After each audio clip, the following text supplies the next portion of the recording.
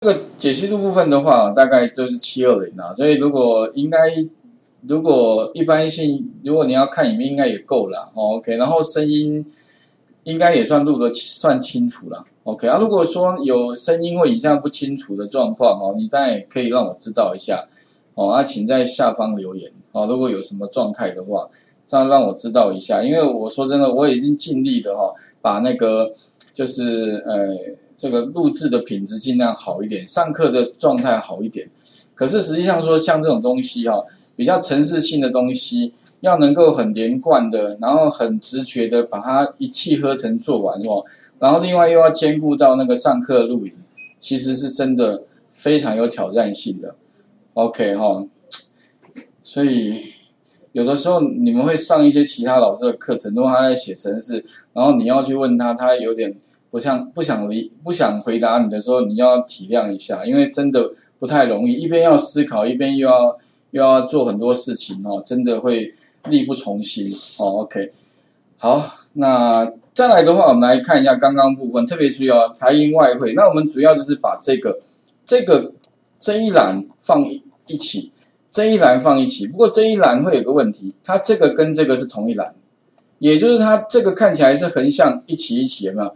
但这边会比它多一倍，因为这边是一栏，那这边是两栏的总数，所以如果说我要输出的话，哈，它怎么输出？所以刚刚我们写完了嘛，我们有一个 data name，这个 data name 呢，我们就指的是什么？指的是那个币别，OK？所以我这边 data name 哈，我里面呢就把那个币别的部分哈，把它放到这个币别，全部都塞到那个什么呢？放上放放到这个 data name。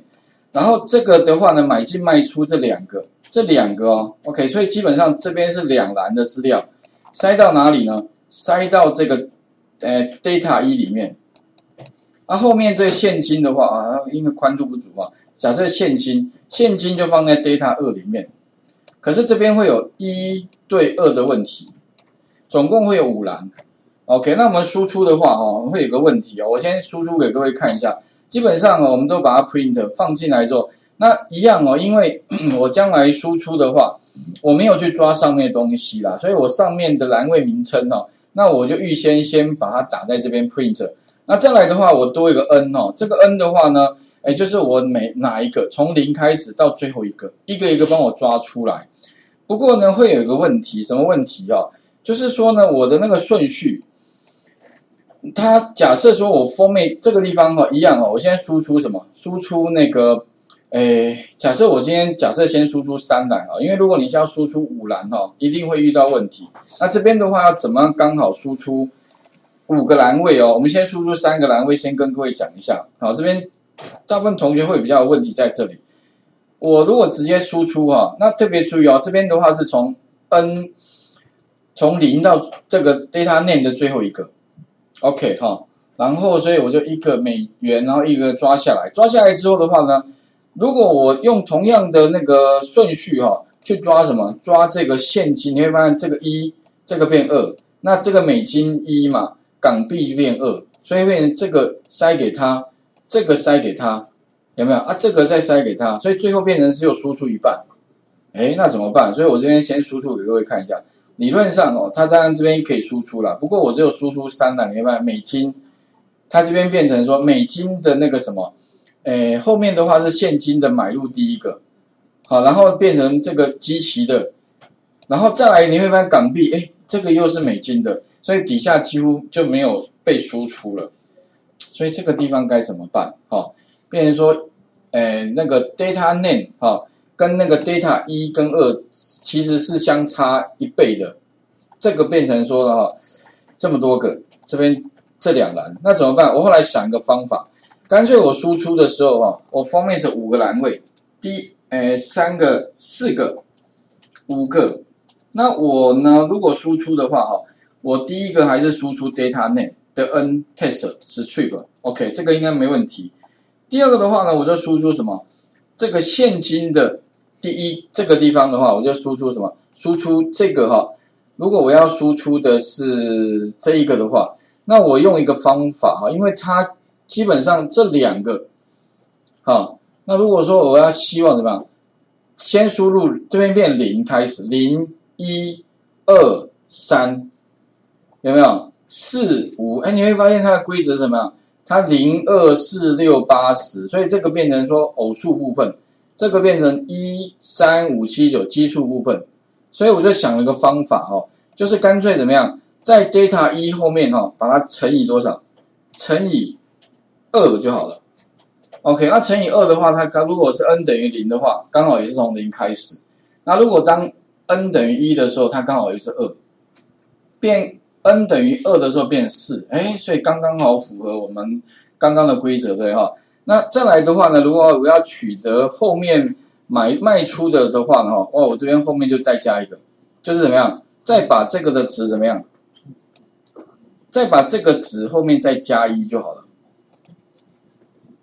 有没有？哎，加一就可以了。为什么？因为零嘛，哈，加一变一嘛，然后二加一变三，哎，刚好就后面那个值。好，这个是我理出的一个规则，OK，应该可以懂的意思吧？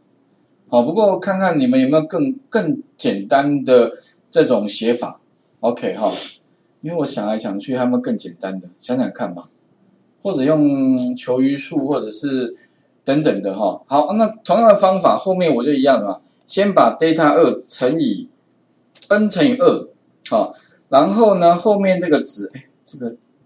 这个应该是放里面才对哦，加一哈，n 乘以二加一，然后再来的话，后面再一个，总共五个栏位嘛哈，所以呢，后面的话是集齐的，那集齐的话也是一样，把这个 data 二里面把它先乘以二之后呢，哎，再把它加一，就是也是零二四六八十，然后加了一之后变成一三五七九，哎，它位置刚刚好 match 了，OK，那刚好就是。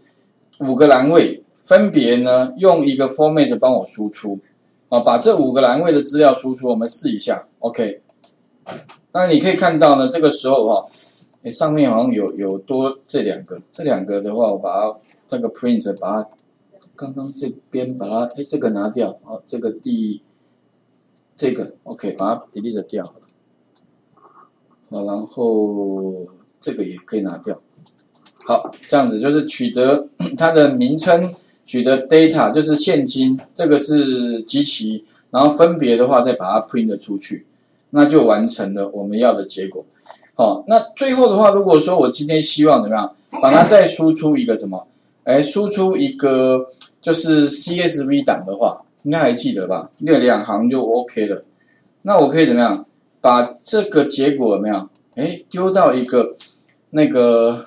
呃，档案里面，那你可以怎么 open 一个档案名称，逗点 w 输出的时候呢，把哎，不过你 write 的它没有个 write 方法，刮胡里面就要给它一个字串，但是我们现在是一个什么，哎 print，所以可能你要把这个 print 哈改成用串接字串，全部串在一起，再丢到一个档案输出。哦，那请各位试一下，应该可以看懂我的意思吧？哦，这个可能。哎，这是我自己想的啊，所以我的逻辑哈，怕说有些同学这个逻辑，那为了让同学比较清楚哦，我有在那个云端上面哈放了一个示意图啦。不过我不知道这位同学同学是不是能够理解我的意思？零零一一二三，OK 哈，有没有零一二三？好，大家看一下，总共 total 当然就是零到十八，十九种币值。